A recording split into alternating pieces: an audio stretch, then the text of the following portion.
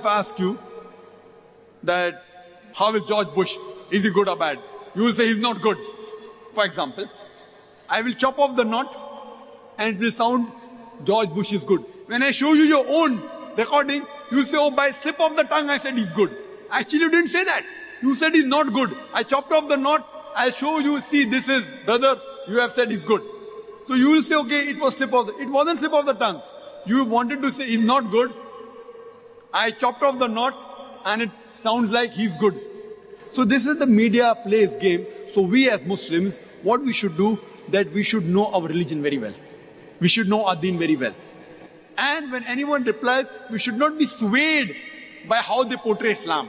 And to judge Islam, we should go to the authentic sources, the Quran and the Sahih Hadith. We should not look at what Muslims do or what the Muslim society does. To judge Islam, I'm not going to judge Islam by what the people in India are doing, or Pakistan, or Taliban, or Saudi. I'm going to judge Islam based on authentic sources, the Quran and the Sahih Hadith. So this strategy we use. And when the media portrays something, we should know how to turn the tables over. See, now the person who ask two questions. He only asked one question.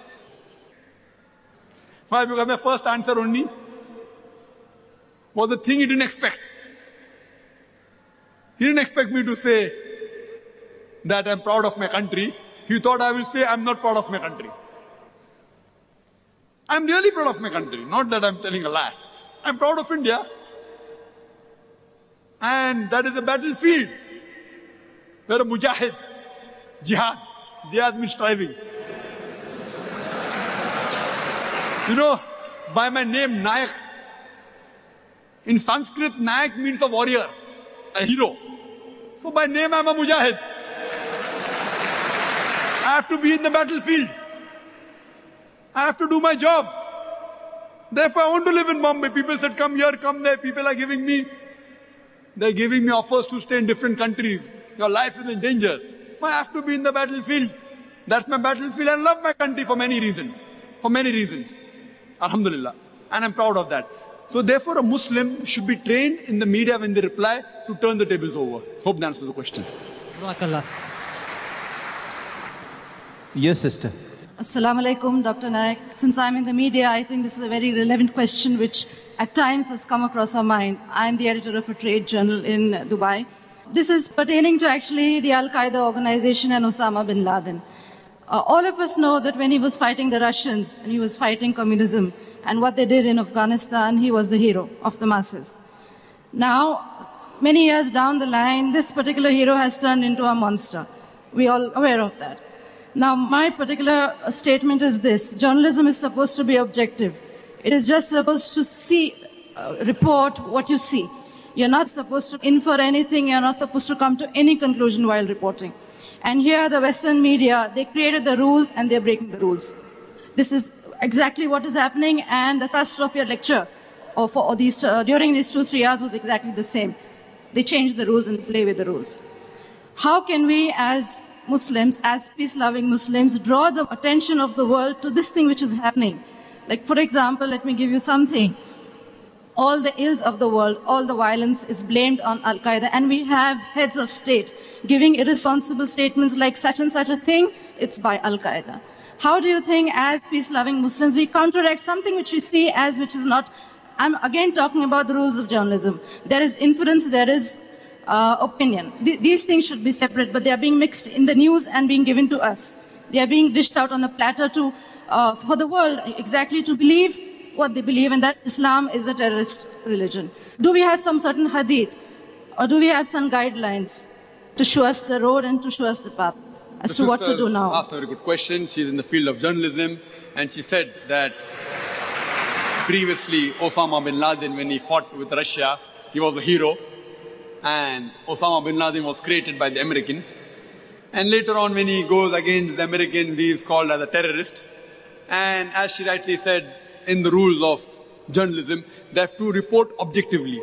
And they should not give the opinion. The inference is supposed to be made by the readers, not by the journalist. This is a rule, but rules are made to be broken. In America, freedom of speech, freedom of speech. According to me, the least freedom of speech is in America. Freedom of speech, you can speak as long as it doesn't hurt them. If you don't speak against me, you can speak what you want. But if you speak against my interest, then maybe the CIA will catch you. So according to me, it's only a big fast. It's a hogwash. Freedom of speech. Regarding a question, how should we respond? Regarding Osama bin Laden, is there any hadith, etc.? And I was asked this question in Australia a couple of years back. Consul General of USA to Perth asked me the first question. I gave a talk on terrorism and jihad. He asked me, Brother Zakir, do you agree Osama bin Laden is a terrorist? He asked me. First question. So I told to the Consul General, as far as Osama bin Laden is concerned, I haven't met him. I don't know him. I'm neither his friend, neither am I his enemy. I don't know. I cannot base my judgment on what I see on the news channels, on BBC, CNN. Allah says in the Quran in Surah Hujurat, chapter number 49, verse number 6, that whenever you get information, check it up before you pass it on to the third person. So what they show on the media, on CNN and BBC, I cannot base my judgment on what I see on CNN and BBC because I know it is manipulated. Unless it's confirmed what they show is the truth. And when Yvonne Ridley, when she came from Afghanistan, she was asked, what is the opinion about Al-Qaeda? You know what she said? I doubt whether Al-Qaeda exists.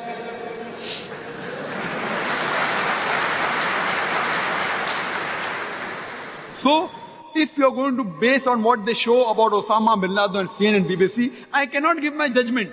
Allah Alam, what is he? But CNN, which is controlled by America, I come to know from there that they have killed thousands of Afghanis. They have attacked Iraq from their very channel. If the person owns the channel, what he shows, and is proud of it, it's confirmed what they have done is there. So if you ask me, who is terrorist number one, according to me, it is George Bush. This I have mentioned and came as headline in the statement that Dr. Zakir Naik says he's a fundamentalist and he calls George Bush as terrorist number one. Headlines in the papers of Australia. Do you know there was a survey done recently? Recently there was a survey done in the University of Chicago. They did a survey and they gave names of three people. Three people. Number one, Osama bin Laden. Number two, Saddam Hussein. Number three, George Bush. And they did a survey in different countries, different cities, different states. That who do you consider among Muslims and non-Muslims together, even non-Muslims, who do you consider terrorist number one? The answer was the same. The answer was common. It was George Bush. The lowest percentage was 74%. 74% of the people said George Bush was number one, and the highest was 78% said that George Bush, according to them, was terrorist number one. Not me.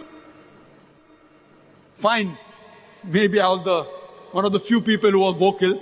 People normally get scared to speak. Regarding the hadith, our beloved Prophet Muhammad said that if you see something wrong, stop it with your hand. If you cannot stop it with the hand, stop it with your tongue. If you cannot stop it with the tongue, the least you can do is curse in your hearts. And then you will be the lowest level of moment. So I am very vocal. I speak the truth. Those people who Allah has given the power to stop with the hand, if they don't stop, Allah will question them. At least Allah has given me the power to speak. So I'm speaking at least. I've said the same thing in UK, in front of the chief of the police, in front of the mayor. I've said in USA, I've said in Australia, I've said in Malaysia. But I say it with hikmah. With hikmah. With hikmah I say it. So if Allah has given the power to speak, if I try and say, oh, I don't, Allah will take away this power. Allah will take away the power of mind to speak. The least you can do is curse in your heart. And today the non-Muslims are saying, leave aside Zakir Naik, the majority of the non-Muslims today, according to a survey done by University of Chicago in USA, they say that George Bush is number one. And if you go on the internet, there are statements, I'm not saying right or wrong, they say that what happened on 11th of September, it was an inside job. Some of the theories say that George Bush did it himself.